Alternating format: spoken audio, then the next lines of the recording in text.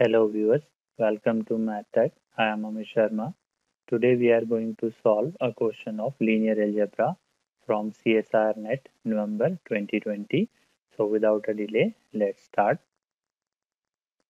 Question is, if A is 2 cross 2 matrix having element 3, minus 2, 2, minus 1, then A raised to the power 20 is option A the matrix having element 41, 40, minus 40, minus 39. Option B, matrix having the element 41, minus 40, 40, minus 39. Option C, matrix having the element 41, minus 40, minus 40, minus 39. Option D, matrix having the element 41, 40, 40, minus 39. In order to solve the question, we have to learn the following result result. If A is any number and B is nilpotent matrix of order m, then AI plus B raised to the power n equal to A raised to the power n into I plus NC1 A raised to the power n minus 1 into B plus NC2 A raised to the power n minus 2 into B square and so on.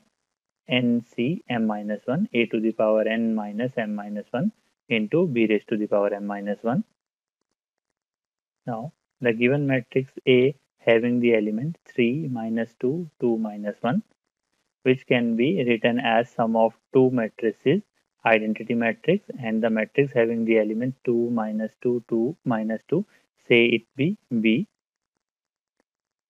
Here, B square is a zero matrix, which implies B is a nilpotent matrix of index 2 now a to the power n is equal to i plus b to the power n which can be further written as i plus nc1 into b which is equal to i plus nb which implies a raised to the power n is equal to identity matrix plus n into the matrix having the element 2 minus 2 2 minus 2 which implies a raised to the power n is the matrix having the element 2n plus 1 minus 2n 2n minus 2n plus 1 put n equal to 20, we get a raised to the power 20 is a matrix having the element 41, minus 40, 40 and 39.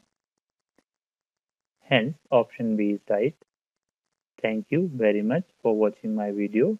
If you like the content, please do like, share and subscribe my channel.